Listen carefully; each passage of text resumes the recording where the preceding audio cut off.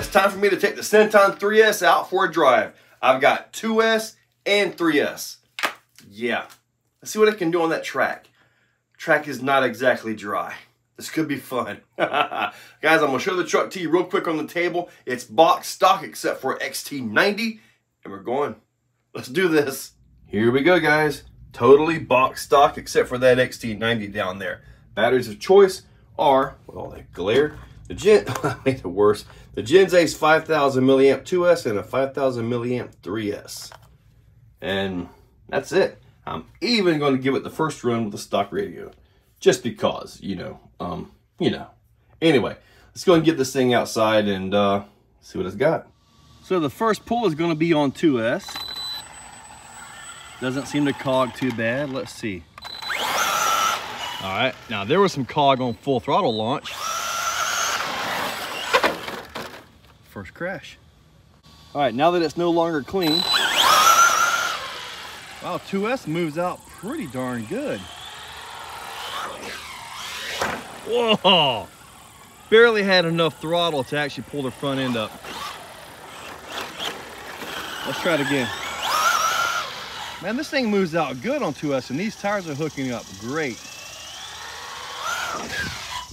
Oh, that was the body catching air. That happens on the SCTs. Happens quite a bit and my trim is out a little bit, so I need to trim that up a little bit better.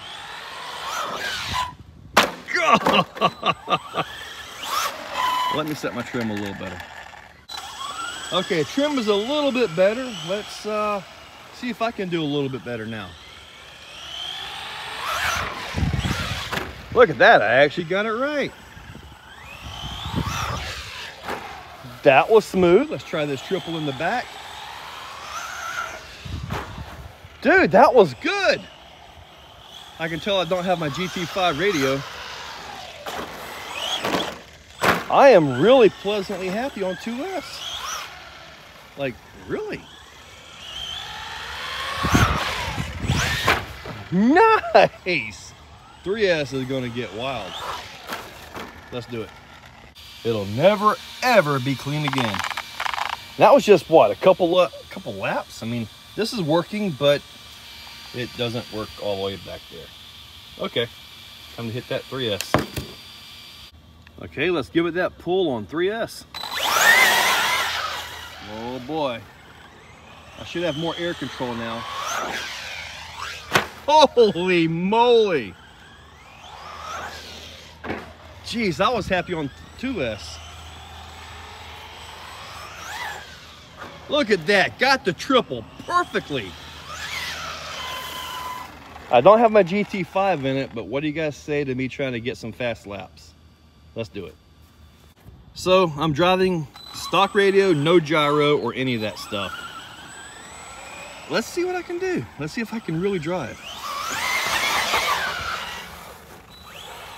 Nice slide onto that. Okay, the 3S really helped me out on that. It helped me bring the front end back up. Guys, this truck is actually running really good, except for my, I need my gyro.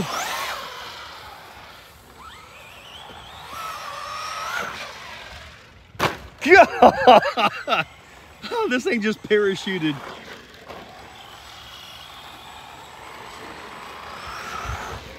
Something is loose.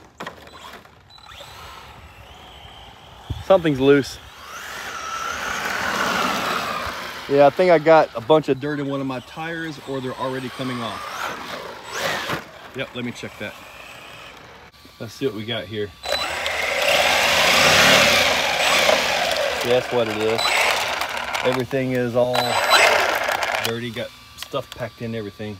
We'll go ahead and blow the wheels out and give this another shot. You. With the wheels all blowed out, we're good to go.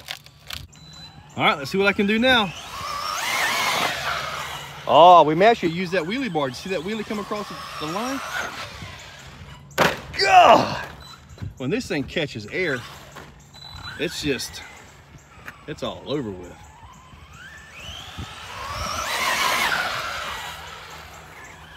corners well. Trying to not catch all that air with it. Nice there.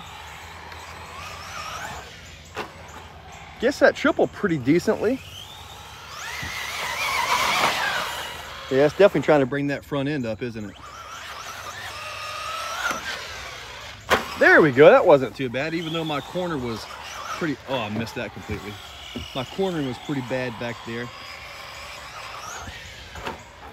Okay, this thing is really catching there. Maybe I need to cut some holes in the body. All you SCT guys, speak up. Like that. It's like there's nothing I could have done.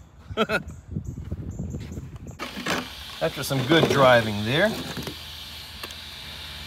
91 ambient temp. Oh, hold on. I got about 90, 101 down there.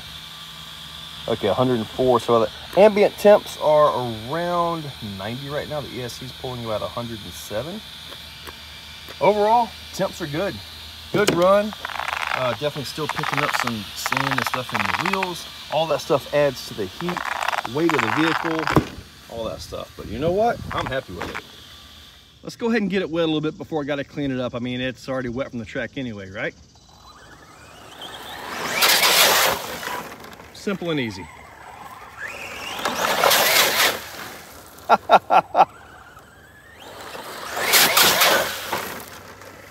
nice.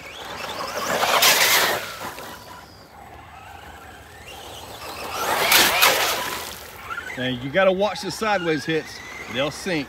And I don't want to tear into the disc, so I'm gonna go clean it up for real now. The drive is over. I've got a, I've, I've got a few things I got to point out. Number one, this thing is way faster than I thought it would be. On 2S, I was totally happy. On 3S, I was blown away. Okay, um, 18.4, but that's just a first drive, you know? These tires on my particular track and on the grass. I did drive them around on the grass a little bit. They hooked up beautifully. Beautifully. Um, hopefully the tires don't expand, contract, expand, contract, and break down and just get worse and worse over time, which they may very well do that. Um, but I'm absolutely happy with the tires. They've done great. The motor ran it great. The gearing seemed to be right on point. It does seem to have almost like a a real light drag brake to it. So I don't know about that one, but anyway, the servo seems to be a little bit sluggish on the table, but on the track, it seems to do just fine.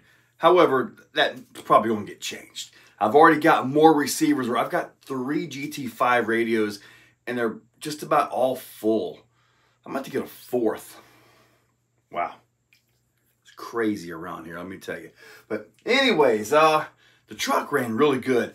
The I got to cut out and do what I can to try to let the air out of the thing because when this thing got big air, man, you guys just saw it just start floating like a big old parachute. And that's something about the short course trucks. The Teknos, they have a little air dam that you can put down here, which I don't know that it really helps, but I, I had it on mine when I was racing. But yeah, this thing right here just catches air and just floats. Um, and we saw that in some of the bigger jumps. So anyways, uh, I'm absolutely happy with this purchase. Uh, I'm happy with this thing. I'm going to get on it again, uh, get the GT5 put in this thing, get, I might do the servo. I don't know what to see. But anyway, guys, I'm happy with it. Check that description. I'll link up this down below. I did buy this from A-Main Hobbies. So yeah, hit them up, guys.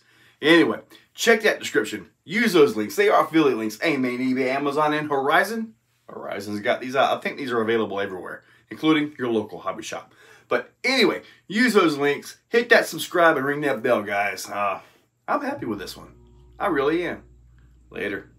If you're still watching, you are top shelf. You are the cream of the crop, the pick of the litter. You are phenomenal.